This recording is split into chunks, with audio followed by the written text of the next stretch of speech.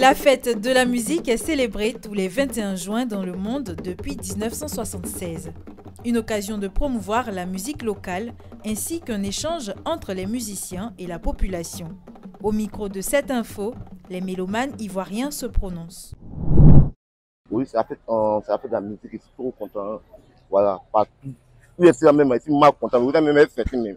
Ouais, parti, parti, je suis content. Jonathan, eh, Jonathan, Malélo, La musique ivoirienne, vraiment, pour moi, a de la valeur aux yeux de l'Afrique. Parce que la Côte d'Ivoire est un, un pays du moteur de la musique de l'Afrique. Donc, pour moi, la musique a de la valeur. C'est très important.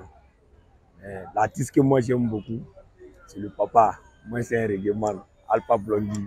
Idija, Idija, Idija Nderi, voilà. C'est ça, vraiment, ça me, ça me touche vraiment. Parce que c'est un morceau vraiment qui me touche.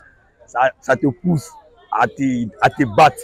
Conseil que je peux leur donner, ils n'ont qu'à prendre les, les, les, activités au, sérieux, ils n'ont qu'à prendre les travaux au sérieux. Parce que dans la vie, tout ce que tu fais, si tu décides d'être un musicien, il faut mettre du sérieux. C'est ça qui peut te sauver. La musique, euh, c'est quelque chose d'important dans la vie. Parce que ça, ça vous permet de vous évader. Et bon, quand souvent tu écoutes la musique aussi, là, c'est intéressant.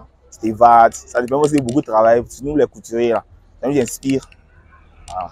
J'aime beaucoup le rap. Peu fois que je t'ai vu, oui, je t'ai kiffé. D'un regard. Je... La musique ivoirienne, je trouve que actuellement le niveau est bon. Ils ont un très bon rythme surtout le rap ivoire qui prend le relais actuellement.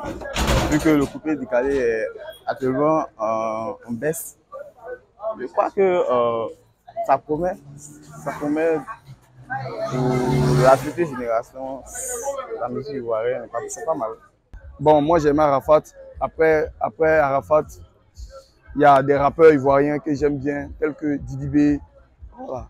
les Arrêt de faire Zarma, Arrête de faire Miskin, arrête de faire Zarma, oh, arrête de faire semblant, eh, arrête de faire genre, tu ne kiffes pas alors que tu es dans le truc. Ça, c'est un peu euh, style rap français. Voilà, où on est là, c'est un peu difficile. Décidé de faire une journée pour tous les chanteurs, pour tous les musiciens. C'est déjà important déjà. Genre, c'est pour dire qu'on a déjà une, comment on dit même, on a déjà important déjà dans la culture. On dit merci à tout ça.